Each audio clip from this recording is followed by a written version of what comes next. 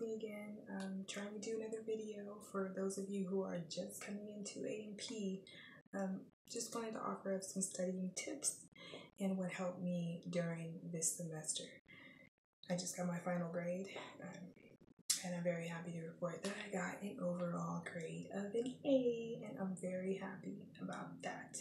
Uh, finals were yesterday, um, on Sunday, and I was one of those. I was blessed enough to have a high enough score in the class to be able to drop the final. He drops one exam, and that's what I did, and so I'm very happy about that. Um, so let me apologize for the lighting in here. It's really bad, and it's making my camera even worse on my phone. Um, so using my computer screen trying to get some type of lighting and also excuse the mess in the back, my kids' playroom, and if you can see it, sorry. But anyway, so I just wanted to offer some, some tips that help me in anatomy and physiology because it is very information dense, and there were a lot of times that there was just nothing. I like I couldn't. I just, I could not remember um, all of the information, and so these are things that I hope will help you um, for those of you who are going into anatomy and physiology this coming semester. So let's start. Um, to begin with, mnemonics. Mnemonics will help, especially when it comes to bones and their articulations. If you don't know what articulations are, it's where the bone meets another bone or what bones are touching that bone. Um, for articulations and originations, where the bone um, originates from. No, that's the muscle. Anyway, the articulations. Yeah, it's a lot of information to take in. Um, so, what helped me was creating a chart. It looked something like this. I would list all of the names of the bones here, list it again up here, and if that bone joined with that bone above, I put a check mark and just keep going all across. By the way, this is not correct. I'm just using an example. And then at the end here, I would total it up. So for the zygomatic bone, it would be um, 2 Articulations, And then four for the next one. And that's how I would break it down to remember it. So in my head, I'd be like, which bones have two articulations? Like zygomatic, blah, blah, blah. And, you know, remember it that way. Which ones are those? Or which, which articulations are those that meet with the zygomatic bone? So that's the way that I broke it down. For those bones that have a lot of articulations, you will find that there are a few. Um, for me, a lot meant over seven. So the ethmoid bone and the sphenoid bone. Sphenoid bone is the big bone in the middle of your skull that attaches to almost every bone in there. Um, so there are nine articulations for that bone. And so I made my own mnemonic for that. And it was Sorry. Um, it probably doesn't make sense to you, but it helped me a lot. So use it if you want to, throw it out if you don't. Make up your own. Um, so mine was every family owns poodles that pee. Zombies may vomit. I'm into zombies. I love Walking Dead. Sorry. But, uh, sorry, not sorry. But that helped me. So that's every ethmoid, family, frontal, bones, occipital, poodles, parietal, fat, temporal, P, palatine, zombies, zygomatic, may, maxillary, vomit, vomer.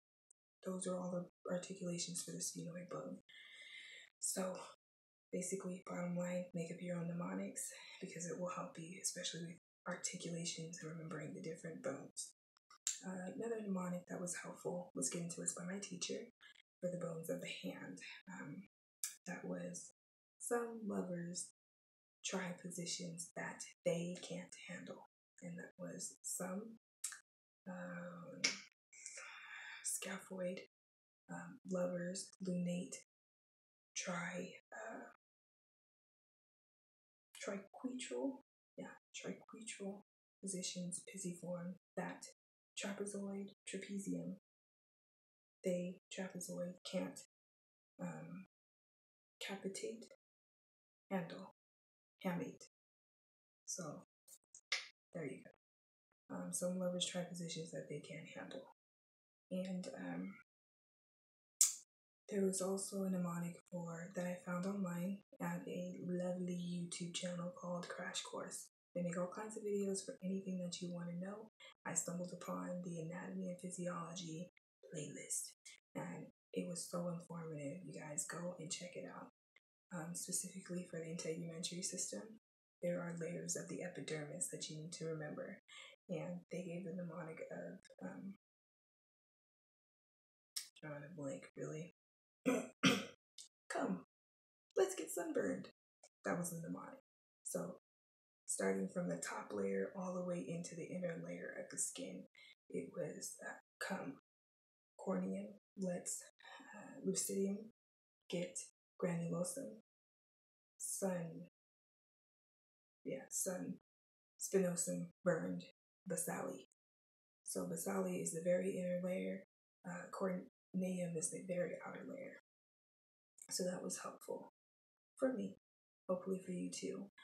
Um, so another thing that you will find helpful is when it comes to remembering the bones and their originations and insertions. So that's where the bone, or where the muscle originates from, and where it inserts at. There are so many muscles. I really encourage you to make a chart out of them. The muscles of the skull, the muscles of um, the abdominal, group them together and list sort of like this in a chart what those muscles are, originations and insertions. Um, my teacher actually did that for us and it really didn't help me. So what I would really advise is excuse me, flashcards for that. And I wish that I did that at that time. And just group them together by where they are the muscles of the skull, the muscles of the abdominal, muscles of the legs, things like that. That's what I would really advise for that. As for resources, as I said, flashcards. Get some and get them different colored like this. Um, I got these at the last minute through Amazon and I wish I had them earlier on, but I was using Quizlet and I thought that would help me. But I have found that I'm a very visual person and I need to write it out if I'm going to remember it. So if you're the same and you're a kinesthetic learner, get these and write them out and uh, group them together by color, color code them. Um, another resource that I had bought was this book, um, Anatomy and Physiology Made Incredibly Visual. It really didn't help me at first, especially when it comes to the bones. Um, I mean, it didn't list out all the bones, it didn't list out all the muscles. It just gives you a very basic overview. Um, it doesn't break down or, you know, give you ways to remember things like muscles and articulations, things that your teacher might want you to know. That is um, the meninges that you will learn during the central nervous system um, toward the end of the course. Um, so, but if you think that you will utilize it, go ahead. I encourage you to buy it.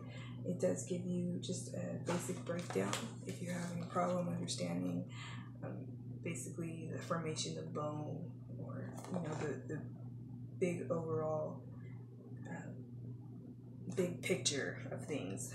It does do a good job of breaking down a few of those things. Another resource that I used was the anatomy coloring book. I bought both of these on Amazon, by the way.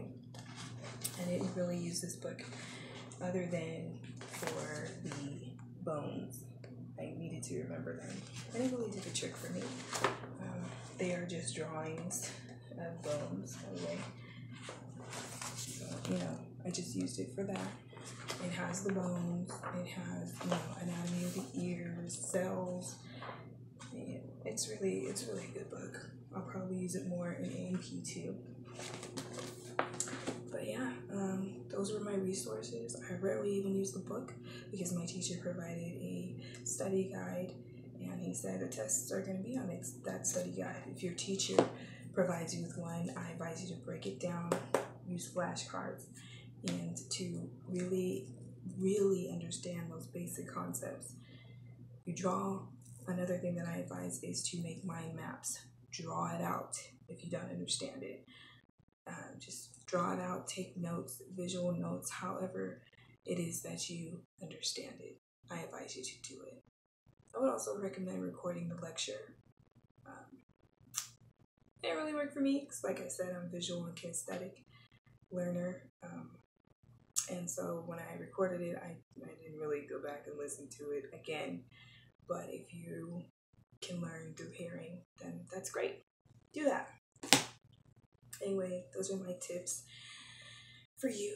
Hopefully, they help some and give you an idea of of what it is that you'll need to study. Um, so yeah, good luck, and I am on my way to anatomy and physiology too, and microbiology this next coming semester in January, and I am taking a damn break. I'm not doing a thing but getting on the treadmill and just working out and taking care, catching up on reading, and, you know, spending a whole lot more time with my kids, even though you know they didn't really miss out on anything because they studied at night. But yeah, um, hopefully uh, I get to see you guys or uh, talk to you guys again before the New Year's. If I don't, then have a great 2017 and thank you for watching. Bye.